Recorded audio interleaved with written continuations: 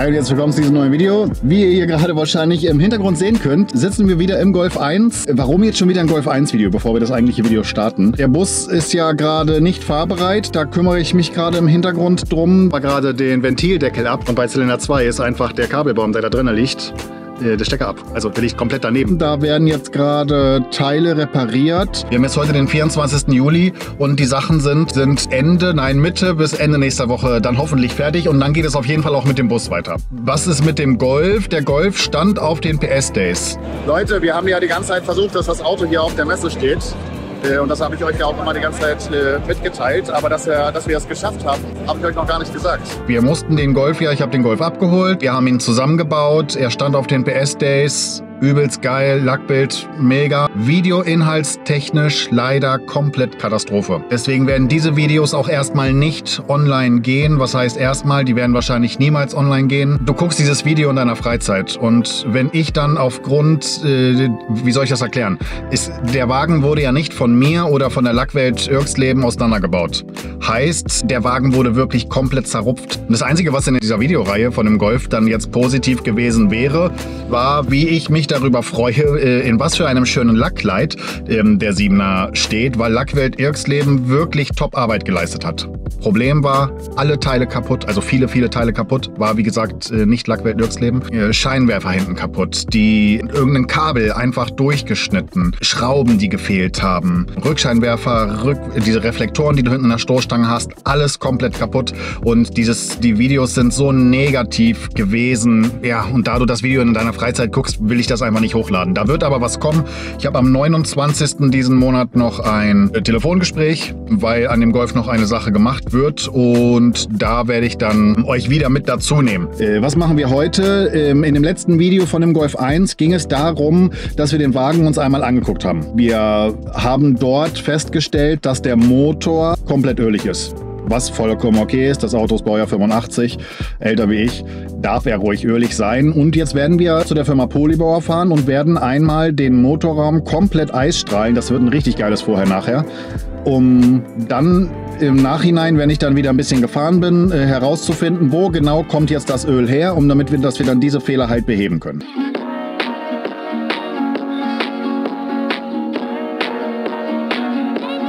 I spent 40 hours on the road, more than a thousand miles from Chicago. I'm never getting. So, wir sind da. Guckt euch das an. Es ist schon äh, brutal dreckig. Er darf natürlich auch dreckig sein. Ja, das geht. Das geht tatsächlich.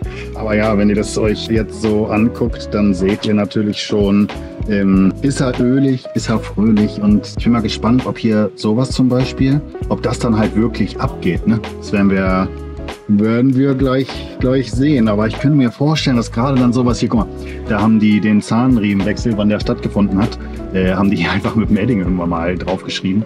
Ja, früher war es das so. Da gab es dann wahrscheinlich solche Zettel hier noch nicht. Aber ist auf jeden Fall wild. Ich bin auf jeden Fall richtig auf das Vorher-Nachher-Ergebnis gespannt. Wir holen jetzt gleich mal Christian. Das ist der Chef von der Firma Polybauer. Ihr kennt den von meinem Kanal auch. Für die Leute, die schon ein bisschen länger dabei sind. Und der wird uns das Ganze hier erklären. Und dann werde ich zum Schluss auch nochmal selber versuchen, ähm, wie sich das so anfühlt, ob du lange draufhalten musst und so weiter und so fort. Ich habe sowas ja auch noch nie gemacht. Der Grund, warum wir das hier machen, ist natürlich erstmal wegen der Optik. Äh, oh, jetzt wird es gerade ein bisschen windig. Äh, ist natürlich erstmal wegen der Optik und zweitens durch den Ölverlust. Da ist jetzt ja überall Öl und damit wir nicht einfach alles tauschen müssen, sondern da einfach gucken können, wo genau das Öl herkommt, machen wir das jetzt einmal. Äh, können dann so die undichten Stellen definieren. Das ist ja laufender Werkstattbetrieb. Dann können wir so die undichten Stellen einmal identifizieren, um dann halt auch wirklich nur diese Sachen äh, zu tauschen. Ne? verschiedene Aufsätze. Das ist sehr gut im so für hartnäckigen Ecken und so. Das ist hier mehr für Flächen, damit fangen wir erstmal an.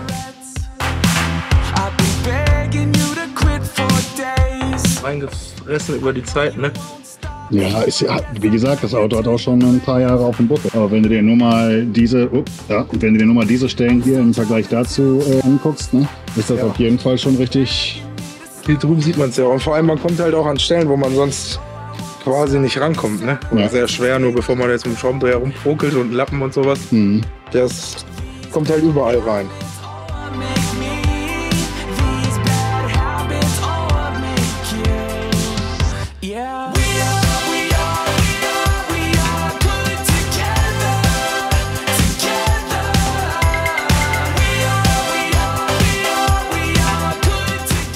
Mit dem Trockeneisgerät kriegst du eigentlich so Motorräume oder auch äh, Unterböden, äh, ähm, Sitze, die Teppiche, auch Verdecke. Jetzt bei dir beim Cabri halt kriegst du eigentlich richtig gut halt mit sauber. Die ganzen äh, Drecke, die sich da über die Jahre halt äh, drin festgesetzt haben, die kannst du damit schön halt rausmachen. Und du hast halt nachher keine Feuchtigkeit oder nichts, weil es ist ja ein, ein Gas, ein gefrorener Stickstoff halt. Beim, beim Aufprallen auf, den, ähm, auf das Objekt zerschellt das ja und friert es halt Schock, so, so dass ähm, der Dreck dann halt, wenn er schockgefroren ist, dann halt abplatzt. Und so entsteht dann halt die saubere Oberfläche. Jetzt bei Ölen oder bei, bei, bei Wachsen, äh, Hohlraumwachs, Unterbodenwachs, da ähm, ist es teilweise so, dass es halt nicht abgeht, weil es halt zu weich ist und du es halt nicht so schön schockfrieren kannst, dass es dann halt abgeht. Da müsste man halt äh, nochmal mit dem Bremsenreiniger nachher ein bisschen nachwischen und dann ähm, kriegst du die Stellen auch schön sauber. Wo es halt nicht für äh, ist, wo wo auch schon oft genug nachgefragt wurde, ist halt für, für Rost. Rost kriegst du damit nicht ab, dafür ist es äh, halt nicht gemacht. Da müsste man dann halt wirklich richtig mit Sand halt strahlen und dann kriegst du das halt auch richtig sauber. Wenn irgendwo Lack abplatzt, manche denken, oh, da platzt jetzt halt der Lack von ab, dann ist da drunter aber auch schon Rost.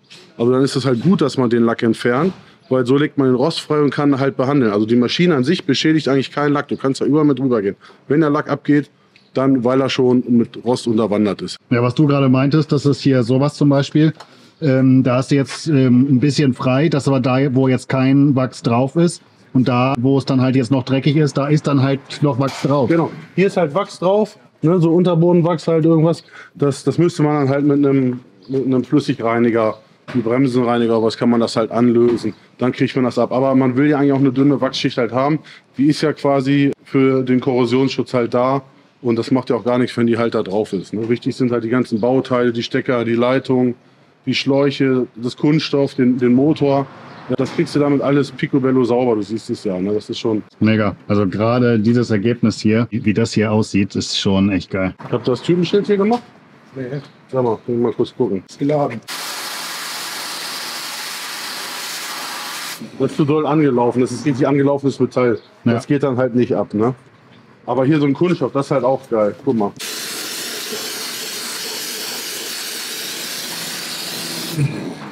Guck mal, die obere Hälfte und die untere Hälfte. Ja, ist schon, ist schon krass.